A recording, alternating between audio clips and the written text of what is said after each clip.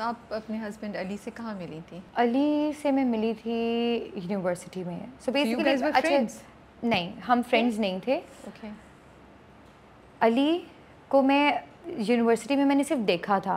हम्म, ठीक है वो वहाँ पर पढ़ते नहीं थे उस टाइम पे वो पढ़ चुके थे। तो वैसे वहाँ असिस्टेंट प्रोफेसर थे अच्छा, वो फैकल्टी में थे। ओके और मेरा अभी नया नया एडमिशन हुआ था तो हम एक दूसरे को पहले भी इस तरह से जानते थे कि मेरे दादा और अली के फादर दोस्त हैं। ओके ठीक है? जिस मस्जिद में मेरे दादा नमाज़ पढ़ते थे अली के जो मेरे ससुर हैं वो उस मस्जिद के प्रेसिडेंट थे। ओके तो उन लोगों की बहुत दोस्ती थी आपस में। तो हम्म। उस और हम एक एरिया में रहते भी थे। तो हमने एक दूसरे को देखा हुआ था पहले भी। तो ऐसा जब- कोई नहीं था ऐसा कोई नहीं था, नहीं, नहीं, नहीं। professor, नहीं। assistant professor, ऐसा कोई कहानी नहीं ऐसा कोई कहानी नहीं थी। कोई कहानी दो है? मुझे अली उस टाइम क्यूट ज़रूर लगे थे क्योंकि बड़ी टाइम बाद मैंने उनको देखा था।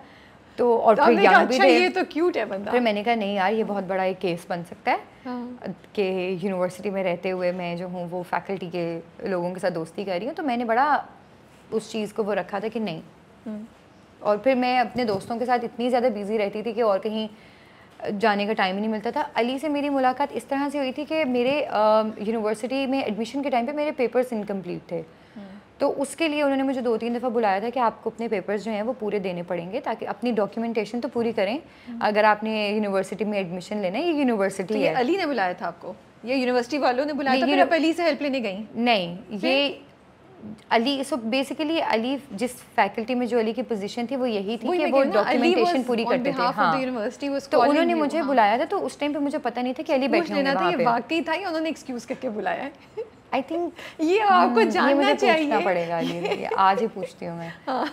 वो एक अलग बात है कि जब भी हम कभी गुजरते हुए एक दूसरे से मिलते थे तो ये स्माइल So ज़रूर what पास होती he थी say? He what is he? What is his story? कि नहीं बस वो तो अच्छा फिर आगे हुआ क्या चले पहले ये तो फिर खैर ये हमारी एक पहली मुलाकात थी यूनिवर्सिटी में उसके बाद फिर अली ने फिर जॉब स्विच कर ली फिर अब ये हुआ कि मुझे यूनिवर्सिटी में मेरे वो डॉक्यूमेंटेशन की ही कोई चीज़ थी जो इनकम्प्लीट रह गई थी और उसकी वजह से मुझे बड़ा प्रॉब्लम हो रहा था। तो इन लोगों ने मुझे कहा कि आपको दोबारा से एडमिशन लेना पड़ेगा। और मेरे दो सेमेस्टर्स में? हाँ Oh God, मुझे okay. और मेरे दो सेमेस्टर्स कंप्लीट हो गए हुए थे। आई थिंक मुझे अपने कुछ सब्जेक्ट्स स्विच करने थे। तो इस तरह का कोई सीन था। मैंने कहा ये तो नहीं हो सकता। मेरे तो दो सेमेस्टर्स बिल्कुल ज़ाया हो जाएँगे। और मेरा पूरा साल ज़ाया होगा। अब मैं यूनिवर्सिटी में फैकल्टी में और किसी कुछ जानती नहीं थी और अली भी छोड़ के चले गए हुए थे। फिर मैंने अपने एक फ्रेंड को कहा कि यार तुम्हारी अगर उनसे मुलाकात थी उनसे बातचीत थी और अली यूनिवर्सिटी में ऐसे थे कि हर बंदा उनको जानता था। टीचर से लेकर कैंटीन वाले स्वीपर स्टूडेंट्स जूस वाले अंकल सब जानते थे अली को। तो उनका नंबर लेना बहुत इजी था। तो मैंने कहा यार मुझे फिर मैंने उनको कांटेक्ट किया कि और मैंने कहा सर वो सर वो आपसे एक बात करनी थी हाँ और मैं बहुत टाइम तक अली को सर ही कहती रही हूँ। तो मैंने उनको कहा कि मुझे मेरा यूँ मसला चल रहा है तो वो प्लीज़ आप। और स्टूडेंट्स के जो भी ऐसे मसले होते थे वो अली ही हल करते थे। वो स्टूडेंट्स के बीच में इतने फ़ेमस थे। तो मैंने कहा कि अच्छा उन्होंने मेरा वो मसला करवा दिया पूरा। हो गया वो ख़त्म हो गई बात। फिर उसके बाद मेरा एक सब्जेक्ट है जो मुझे जिस सब्जेक्ट से मुझे नफ़रत थी और अभी तक है वो है इकोनॉमिक्स ओके okay. और अली तो थे गोल्ड मेडलिस्ट वहाँ पे। तो मैंने अब मुझे और कोई भी नहीं मिला तो अम्मी को भी पता था। अम्मी ने कहा कि यार अपने घर का बच्चा है तो तुम उन्हीं से बात कर लोगे वो तुम्हें पढ़ाने भी आ जाया करें। तो मैं डरती भी थी अली से क्योंकि अली ज़रा थोड़े ब्लंट से हैं कि मुँह पे बोल देना कि तुम ये क्यों नहीं कर रही हो। और मेरे दोस्त भी शुरू शुरू में बड़ा डरते थे उनसे। मैंने उनको मैंने कहा नहीं यार उन उनसे नहीं मैंने पढ़ना वो तो बिल्कुल ही पीछे पड़ जाते हैं कि ये चीज़ पूरी कंप्लीट करनी है अब। अम्मी ने कहा नहीं अब तो तुम इसी से पढ़ोगी। ओहो।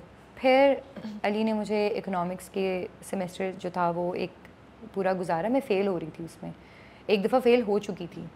उन्होंने मुझे पढ़ाया तो मैं पास हुई कुछ मेरे समझ में आई चीज़ें। फिर उससे करते करते अली का घर में आना जाना भी हो गया फिर हमारी फैमिली का मिलना जुलना हो गया ज़्यादा। क्योंकि फिर दादा और अ, मेरे जो अ, ससुर जो हैं वो अब अबू इन लोगों का मिलना जुलना बहुत होता था। फिर वो करते करते बात आगे बढ़ना शुरू हुई फिर मेरी और अली की दोस्ती हो गई फिर उन्होंने मुझे कहा कि अब प्लीज़ अब मैं मैं यूनिवर्सिटी में भी नहीं हूँ मैं तुम्हें पढ़ाता भी नहीं हूँ अब सर मत बोलो प्लीज़ तो और मैं इतना बड़ा भी नहीं हूँ कि तुम मुझे सर बोलो मैं तुमसे सिर्फ़ कुछ ही साल बड़ा हूँ। तो फिर हमारी दोस्ती अच्छी खासी हो गई और मेरी अम्मी जो थी वो अली की कंपनी बहुत ज़्यादा इंजॉय करती थी मेरी अम्मी और मेरी बहन। क्योंकि अली बहुत ज़्यादा जब दोस्ती हो जाती है तो वो बहुत ज़्यादा he is so much fun तो हमने जब बोर होना हमने अली को बुला लेना अच्छा आ जाएँ घर। हम बोर हो रहे हैं अपनी कहानियाँ सुनाएँ बचपन की। तो he is a very good story teller वहाँ से फिर करते करते दोस्ती ज़्यादा हो गई फिर घर में बातचीत होना शुरू हो गई फिर घर में आना जाना शुरू हो गया फिर हमने कहा कि आई थिंक अब हमें इंगेजमेंट कर लेनी चाहिए। तो फिर वो फैमिली में आपस में बात हो गई फिर फिर मैं इंडस्ट्री में आ पहले बोला आपने पहले बोला? आई थिंक अली ने ही पहले बोला था। और फिर फैमिलीज़ की बात फिर फैमिलीज़ की बात हुई थी। और और हमारी फैमिलीज़ आपस में बहुत ज़्यादा मिलती हैं मतलब yeah एक it जैसी हैं। It love or was it a Yes, was yes, it a कि नहीं अच्छा बंदा है and you know like we get along well and you know नहीं it was it was love you had fallen हाँ। for him okay. क्योंकि हमारी दोस्ती बहुत अच्छी थी। hmm. हम लोग अच्छे दोस्त हैं इसीलिए अच्छे पार्टनर्स हैं। मुझे ये लगता है। क्योंकि एक टाइम पे आके प्यार शायद कम हो जाता है। रिश्ते के बीच में दोस्ती रहना बहुत ज़रूरी है। हम फ्रेंड्स हैं और हम फ्रेंड्स की तरह ही हर एक दूसरे से सारी चीज़ें शेयर करते हैं। मैं घर जाऊँगी मैं अली को बताऊँगी यार आज ये हुआ है। और वो फिर मुझे दोस्तों की तरह ही उस चीज़ का जो है ना फीडबैक देंगे। तो ये चीज़ एक बड़ी ज़रूरी है। जो क्योंकि मैंने अपनी ज़िंदगी में इस तरह के रिलेशनशिप्स नहीं देखे थे। मैंने मियाँ और बीवी का रिश्ता बड़ा वो देखा था कि अच्छा मियाँ के आगे तो बिल्कुल ऐसे सज के यूँ चाय रखनी है और खाना रखना है और मियाँ सुबह उठ जाएगा तो उसके उठने से पहले उसका नाश्ता तैयार होना चाहिए और हमारे डायनेमिक्स बिल्कुल ही उल्टे हैं। मैंने आज तक कभी अली को नाश्ता नहीं बना के दिया और ना कभी उन्होंने मुझे कहा है। और उनकी अपब्रिंगिंग भी इस तरह की है कि वहाँ ये कहा गया है कि तुमने नाश्ता करना है तो अपना नाश्ता खुद बनाओ।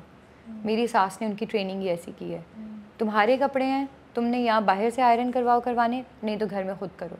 तुम्हें तुम्हारे काम करने आने चाहिए।